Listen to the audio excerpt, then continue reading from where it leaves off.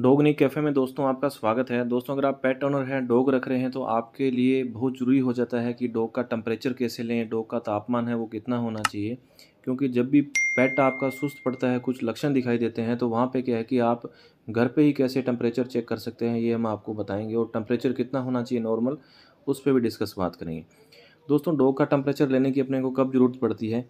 जिसमें लगता है कि डॉग ने खाना पीना बंद कर दिया है, डॉग सुस्त हो गया है कभी कभी डॉग जो है शिवरिंग करता है कम कंपी हो जाती है और वॉमिटिंग हो जाती है नेजल डिस्चार्ज आने लग जाता है। तो इस तरह से बहुत से लक्षण अपने को दिखाई देते हैं तो वहाँ पे अपने को ज़रूरत होती है कि डॉग का टेम्परेचर लें, कहीं डॉग को फीवर तो नहीं है या टेम्परेचर नॉर्मल टेम्परेचर से डाउन तो नहीं जा रहा है। तो इस कंडीशन में दोस्तों अपने को टेम्परेचर लेना आना बहुत ज़रूरी है, एक थर्मामीटर पर रख सकते हैं।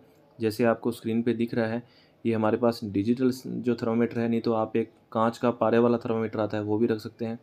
टेम्परेचर अपन दो तरह से माप सकते हैं, एक तो फारनेहाइट में और एक अपन सेल्सियस में माप सकते हैं। और ज़्यादातर दोस्तों जो जो टेम्परेचर लिए जाते हैं, वो फारनेहाइट में लिए जाते हैं। तो अपन दोनों तरह से मैं आपको बता दूँगा फारनेहाइट में कितना नॉर्मल होना चाहिए और सेल्सियस में कितना नॉर्मल होना चाहिए। तो दोस्तों, हमारे पास ये डॉग आया है, काफ़ी दिनों से बीमार है, इसको वॉमिटिंग भी हो रहा है डायरिया हो रहा है, खाना पीना बंद है। तो दोस्तों, हमारे पास ये डिजिटल थर्मामीटर है तो हम इससे टेम्परेचर लेंगे। दोस्तों, डोग का जो टेम्परेचर है, उसके पोटी वाली, जहाँ से पोटी बाहर आती है, पोटी वाली जगह है, जिसको रेक्टम बोलते हैं, वहाँ से दोस्तों अपन लेंगे। अब दोस्तों, ये रेक्टम वाली जो जगह है, इसके अंदर अपने को थर्मामीटर को डालना कितना है?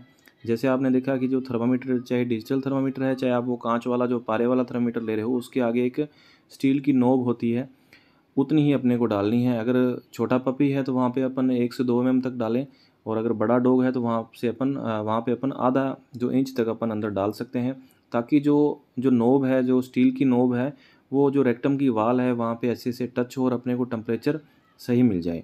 दोस्तों, ये थर्मामीटर अपने को रखना कितनी देर होता है? दोस्तों, अगर डिजिटल थर्मामीटर है तो वो एक मिनट बाद ऑटोमेटिक अपनी जो उसमें बीप की आवाज़ आएगी, तब आप बाहर निकाल लीजिए। अगर आप कांच का थर्मामीटर यूज़ कर रहे हैं, पारे वाला तो वहाँ पे क्या है कि एक मिनट बाद आप हैं, उसको बाहर निकालने में। दोस्तों, ये जो डॉग का टेम्परेचर है, जो हमने ले लिया है इसका जो नॉर्मल टेम्परेचर है, आप देख पा रहे हो, अभी हम बाहर निकालेंगे तो इसका जो टेम्परेचर है, वो 102.4 हमें शो हो रहा है। और दोस्तों, ये 102.4 ही शो होगा। और ये जो टेम्परेचर है, इसका नॉर्मल आ रहा है बिल्कुल। इस डॉग का टेम्परेचर बिल्कुल नॉर्मल है। इसको खाली डायरिया और पेट में इन्फेक्शन है, इस वजह से इसको दिक्कत आ रही है। क्योंकि कचरा, मिट्टी, जो सड़ी गली चीज़ें कुछ ज़्यादा खाता है, इस वजह से दिक्कत आ रही है। अब दोस्तों, बात कर रहे हैं कि ये जो डॉग का टेम्परेचर है नॉर्मल कितना होना चाहिए? ताकि अपने को पता चले, अपने को घर पे अगर टेम्परेचर लेना हो तो इस बारे में अपने को पूरा पता होना चाहिए। दोस्तों, डोग का टेम्परेचर अपन दो तरह से मापते हैं। एक तो अपने फारनाहाइट में माप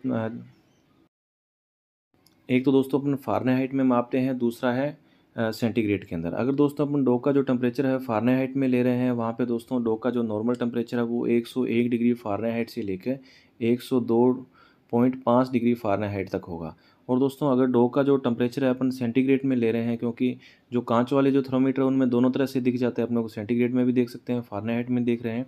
अगर दोस्तों, अपन सेंटीग्रेड में देखना चाह रहे हैं तो फारनेहाइट का अगर अपन सेंटीग्रेड में कन्वर्ट करते हैं तो सेंटीग्रेड का जो टेम्परेचर है, वो डो का नॉर्मल बनेगा थर्टी एट पॉइंट थ्री से लेकर thirty nine point two degree centigrade तापमान ये बनेगा।